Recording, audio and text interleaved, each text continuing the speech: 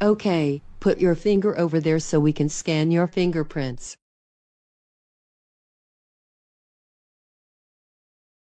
Now go in that room and change into your prison clothes while we track down your fingerprints.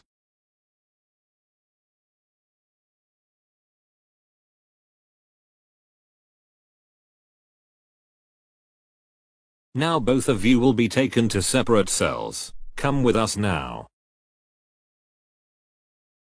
This is your cell and also your new home. Go in there now, Viley.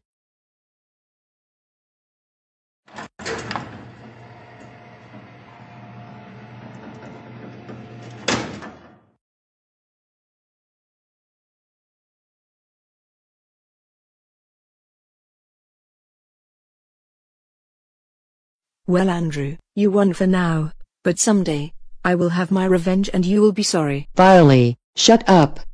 It's almost time for your chores. Yeah whatever.